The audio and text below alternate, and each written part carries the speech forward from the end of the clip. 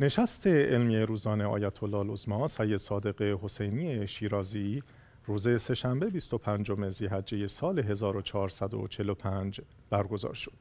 در این نشست همچون جلسات پیشین ایشان به سوالهای حاضران در جلسه پیرامون مسائل مختلف فقهی پاسخ دادند.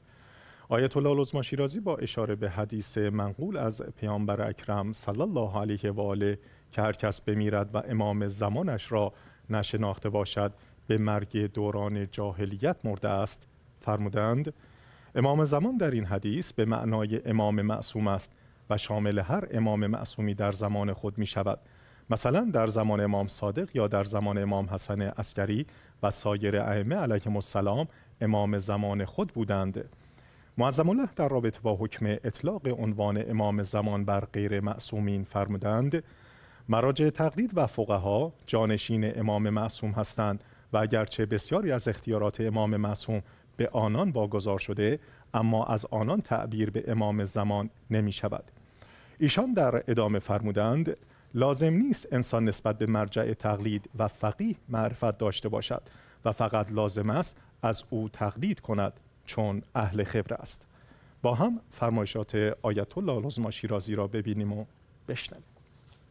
مثل اهل خبره پزشکی و اهل خبره هندسه و اهل خبره اینا.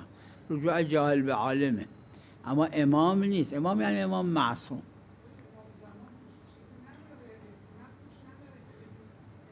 نه از, از قطعیات ظاهرا. شبهه ای نیست که امام زمان یعنی امام معصوم. از قرائن مختلف.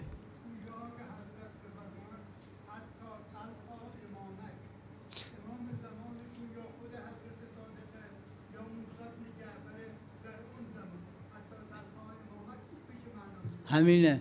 هم بلا شک. تلقا یعنی بری خدمتشون.